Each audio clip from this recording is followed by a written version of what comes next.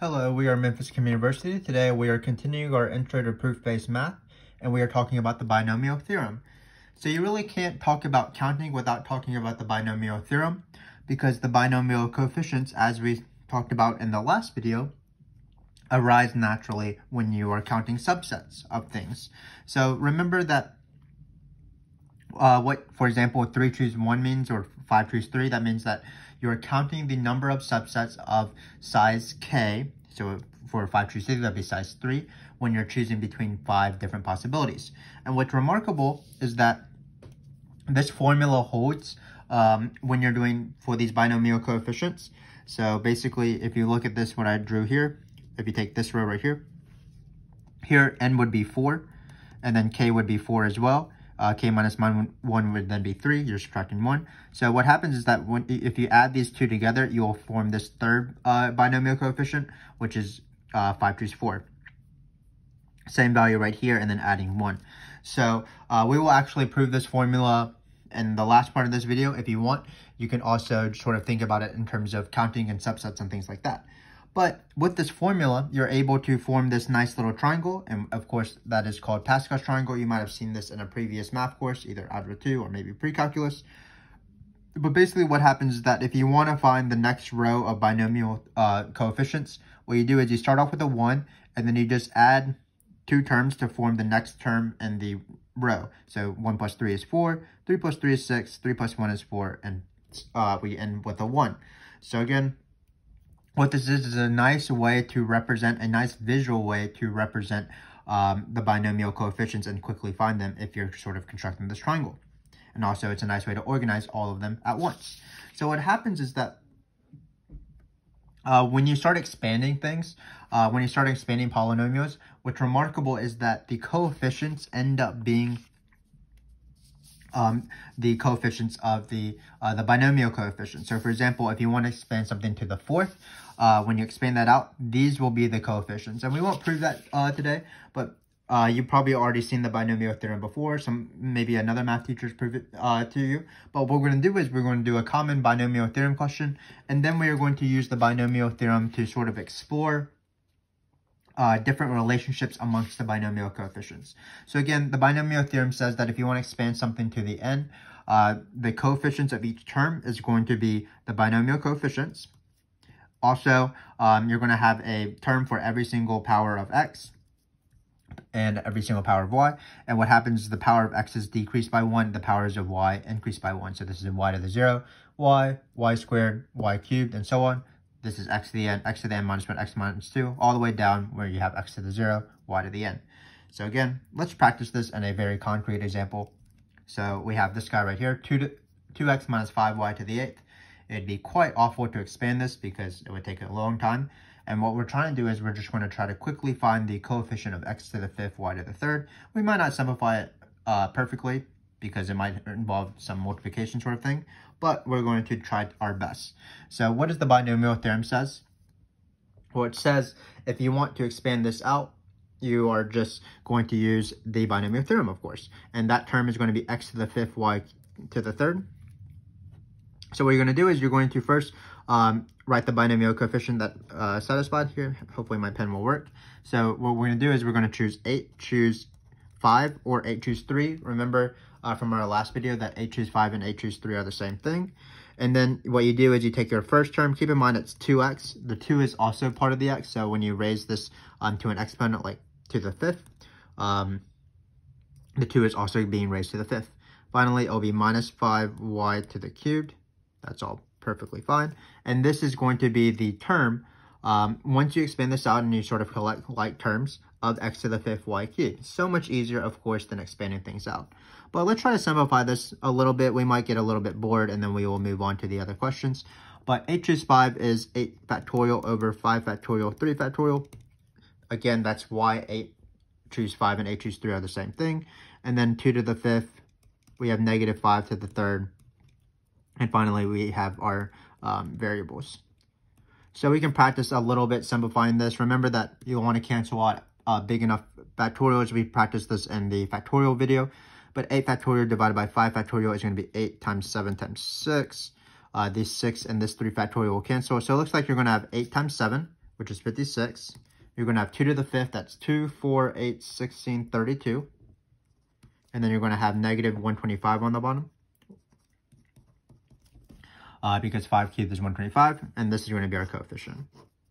So again, the power of the binomial theorem is that it gives you the terms without having you do a lot of terrible math or terrible computation, which is expanding and foiling things out. And it's easy and it's nice. So now let's try to prove some sort of relationship between the binomial theorem. So what we're going to try to do is, what we're going to show is that if you sum any row of the binomial, uh, of the Pascal's triangle, so you're summing, for example, uh, these terms right here, which are these terms right here, what you're going to get is you're going to get 2 to whatever row it is. So you're going to get 2 to the 4th, for example. This is the, we consider this the 4th row, 0th row, 1st row, 2nd row, 3rd row, 4th row. So uh, notice that if you sum up all these, let's just practice. It'd be 1 plus 4 plus 6 plus 4 plus 1. That's going to be 10 plus um, 1 plus 4 plus 1. That's going to be 16. That's 2 to the 4th. That works. If you sum up this row, you're going to get 10 plus 10 is 20. 20 plus this other 10 is 30. 32. That's 2 to the 5th. So it looks, seems like our formula is working. If you sum up all the terms in a row of Pascal's triangle, you're going to get 2 to the n. So how are we going to prove that using the binomial theorem? Well, what we're going to do is we're going to expand something. So it's going to be something plus something to the n. And hopefully when we expand it, it will be obvious what this will be, and it will be obvious what the sum will be, uh, this side of the equation. So first off, what should we use um, if you're thinking about it? Well, it, it makes sense that we're going to use numbers because on this, neither side has x's and y's, so we're probably going to use numbers. Also, keep in mind that any number that we put in there, uh, on the other side, we're going to have to raise it to the, uh, a certain power that we might not even know because it's to the end. So it makes sense that we're going to plug in numbers that we actually know pretty well, um, know whose powers, no matter what the powers are. So really, there's only a few numbers to choose from. 1, because 1 to anything is 1. Negative 1, not too bad as well, and also 0. So what, what should we plug in on this side? Well, I'm going to argue that it's going to be 1 and 1. Because notice what's very convenient is that when you add 1 and 1, you'll get 2. So that's going to be the left side. But what happens when you apply uh, binomial theorem here? And let's see why this works. Well, you're going to get n choose 0, 1 to the n, plus choose 1, 1 to the n minus 1. Again, I'm just applying fundamental, uh, not, uh, binomial theorem, where we're applying in 1 for x and 1 for y. So all the x's become 1, all the y's become 1. But why is this so easy? Well, of course, 1 to any finite number is 1. So uh, it's pretty easy to compute. So I'm just going to do one more, uh, 1 to the n minus 2 times 1 to the square. Sort of lied. Let's do the last one as well. But notice, these are n's, of course. But notice that when you add these up, again, 1 to any power is 1. So you're just going to get n choose 0, n choose 1 plus n choose 2 all the way up. Choose n choose n. What is that in summation notation? Well, that's exactly our sum. So it looks like we have finished the question, actually. So because what is this side again? This is 2 to the n. So by the binomial theorem, 1 plus 1 to the n is equal to this. But because we chose particular numbers, meaning uh, x and y both being 1, when you simplify this, you're just going to get the sum of the coefficients themselves. And then when you simplify the left side, because you can actually do 1 plus 1, it's 2 to the n, we have the remarkable fact that the sum of any row of Pascal's triangle is 2 to the n. So hopefully that makes sense. Again, not just a pretty nice diagram. There's sort of secrets within the Pascal triangle, uh, that being one of them. So now we're going to do a very similar thing. We're going to try to use the binomial theorem to show that if you, instead of adding the terms, you alternate the terms, like you have 1 minus the next one plus the next one minus the next one, you're going to get 0. It's more obvious in a row that has even terms because it's like 1 minus 5 plus, uh, 10 minus 10, so these will cancel, and then you'll do minus 5, so these uh, sorry, plus 5 because this was minus 5. So this will cancel and then you'll have minus 1. But again, what we're doing is we're taking uh, one term, subtracting off the second term, adding the third term, subtracting off the fourth term, and so on. But still, it works remarkably in uh, rows that have odd numbers. So, for example, let's just practice. 1 minus 4 is negative 3, plus 6 is 3, minus 4 is negative 1, plus 1 is 0. So it seems like it works. What we're going to do is we're going to do a very similar thing. We're going to have something to the n, we're going to hope that it's going to equal 0, sort of like how this one was 2 to the n. So, again, what we need to do is we need to choose appropriate numbers. But again, it's going to probably be ones and negative ones because we know what those powers are. So it's actually going to be 1 plus negative 1 or 1 minus 1. Uh, how do I know that? Because I know powers of 1 and negative 1. It doesn't seem to make sense if it was 2, 3, 1 half, whatever. And then this guy right here is going to be 0 to the n. 0, n is finite, so this is going to be 0, which is what we want. So let's just prove that this guy right here is equal to this guy. Uh, so what we need to do is we need to apply the binomial theorem. So we're going to write this formula out where x is equal to 1 and y is equal to negative 1. So let's write a few terms just like how we did the first one. So it's going to be uh, n choose 0. Then it's going to be 1 to the n. Uh, if you want, you can write negative 1 to the 0 then n choose 1, uh, 1 to the n minus 1, negative. So notice that this first term is positive because it's negative 1 to the 0. This second term is negative because it's negative 1, plus choose 2, uh, 1 to the n minus 2, negative 1 to the squared. So again, it's alternating between positive, negative, and positive. Then you're going to go all the way down to choose n, 1 to the 0, technically negative 1 to the n. So hopefully this makes sense. And again, 1 to anything is 1, and negative 1 will alternate, and you'll be left with the binomial coefficient. So let's do one more step. It's going to be n choose 0 minus n choose 1 plus n choose 0. The next term would be minus choose 3, and so on. And then finally, at the very end, you would have negative 1 to the n. I don't know if n is even or odd, so I don't know if this is going to be negative or positive. But if you knew n, you would know that it was uh, whether it would be negative or positive. And then you finally have entries n. How do you write this in summation notation? Well, it's exactly this guy right here. So it's going to be this right here. Because you start off with k being 0, so you'll get entry 0, uh, because the negative 1 will cancel out, because it's to the 0. Then when you plug in 1, you'll get exactly this, because it's negative 1 times choose 1. Uh, the next one would be negative 1 squared, which is 1 times choose 2, and so on. So we have finished our thing, just like our last thing we've expanded the binomial theorem on this guy right here. It so happened to be that the right side simplified to the summation we want, and it so happened to be that the left side was 0. Same thing with this. Left side was 2 to the n. Um, when you simplify it, you got the row of binomial coefficients. So hopefully you see why we're doing this. Again, we're sort of gaining appreciation of the binomial, uh, the Pascal's triangle and the relationship between binomial coefficients. We're sort of seeing secrets within the triangle the sum of any row is equal to 2 to the n. The um, the sum of the alternate terms of is going to be to uh, 0, which is, again, pretty nice. And, and there's not, these are obviously not the only two facts. You can look up more facts that come up naturally, but uh, just because of this formula right here, and also the way that the terms work, and the binomial theorem, of course. So now what we're going to do is we're going to stop our appreciation of the binomial theorem. And we're, what we're going to do is we're going to prove um, relationships on the binomial coefficients uh, that hold in general. So we're going to prove this formula right here first off. And then we are going to prove, as promised, uh, the formula that allows us to construct Pascal's triangle. Basically, you take two terms and you add them together. So this plus this is equal to this. So we're going to prove that this is true. And for both cases, what we're going to do is we're going to try to prove them using the factorial definition of binomial coefficients. So let's do that. So what we're going to do is we're going to take this guy right here. And hopefully we're going to, uh, you, you do a series of algebra steps. And hopefully at the very end, we will have this guy right here. So what we're going to do is we're going to first write this as a binomial uh, with factorial. So that's going to be k times n factorial over k factorial n minus k remember that n choose k is the number of ways you can, um, or the number of subsets um, where you choose k things. So the subset has cardinality k, and you're choosing from n possibilities. So this is the formula, n factorial, k factorial, n minus k factorial. So now let's do this uh, guy right here. It's basically what we're going to try to do is meet in the middle. So just be careful here. Uh, it's going to be n times n minus 1 factorial, certainly, uh, k minus 1. Uh, let's just do n minus 1 minus k minus 1 on the uh, side here. Notice that we do want to be careful with parentheses, and that's actually nice because you get n minus k, and it'll be minus 1 minus minus 1, so that's minus 1 plus 1, so you're only going to get n minus k. So here it's going to be n minus k.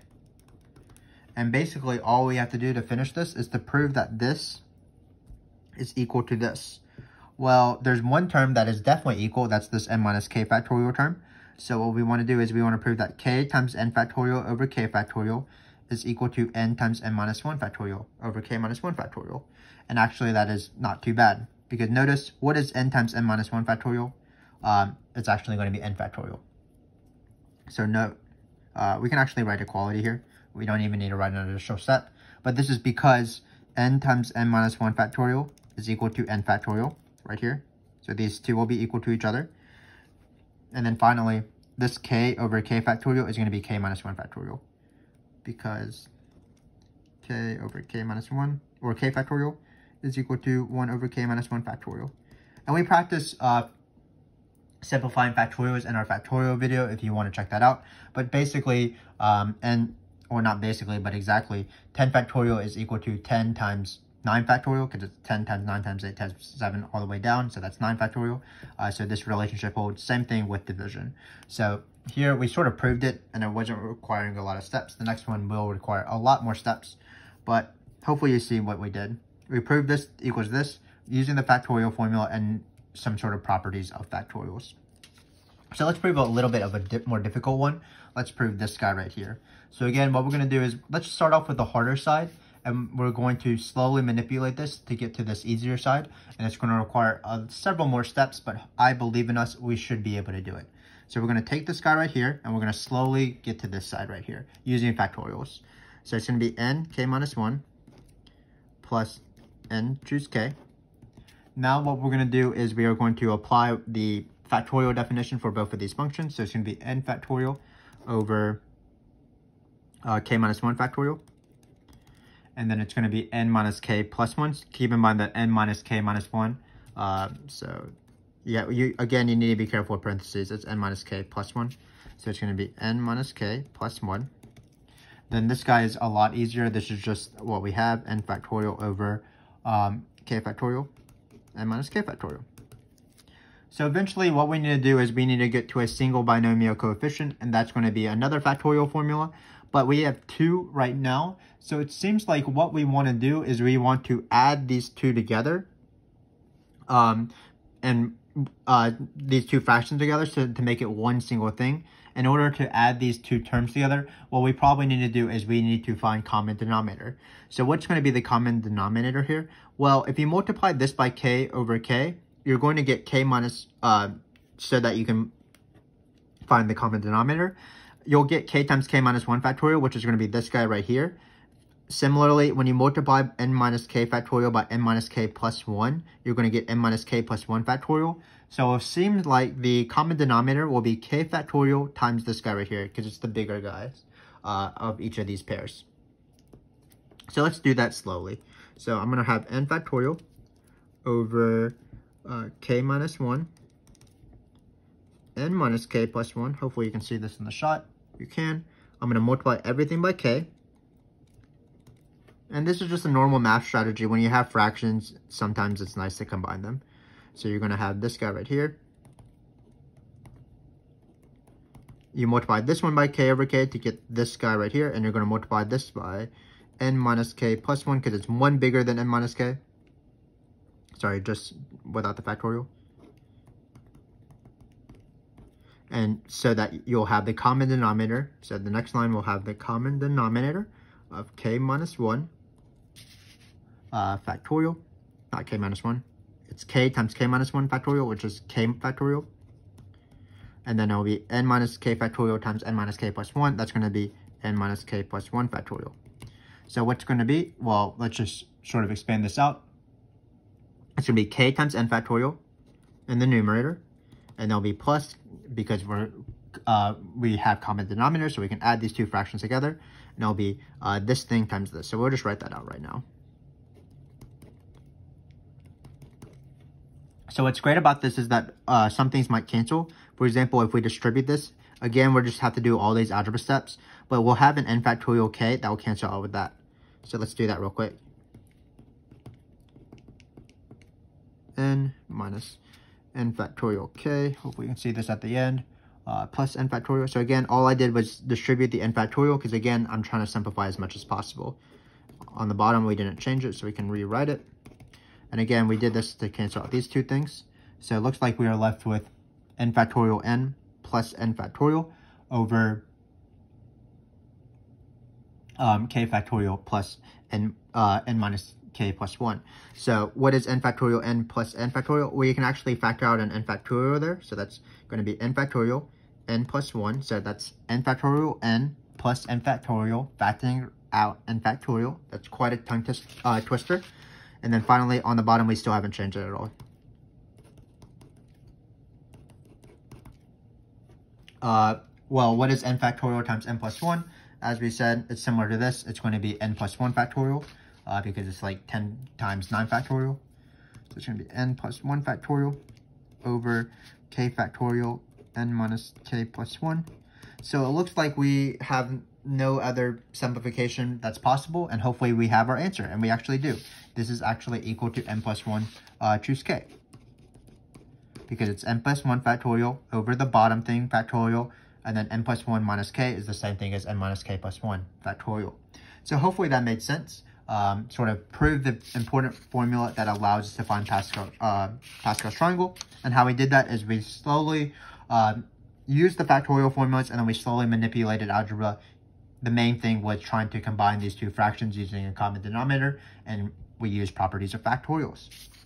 So hopefully this video was uh, somewhat useful for you. You were able to review binomial theorem. We were able to discover some sort of relationship between the binomial coefficients of Pascal's triangle using the binomial theorem. And then finally, we were able to sort of have these baby proofs, especially uh, this one is a little bit more complicated, where we were able to develop um, relationships or formulas of the binomial coefficients themselves. So um, that concludes this video. If you want, you can watch our next video, which will be our final video about counting. I believe in this video series, it's going to be counting with inclusion and exclusion, so be on the lookout for that. We always appreciate your support of our channel, for so thank you for watching, and I hope to see you in that next video.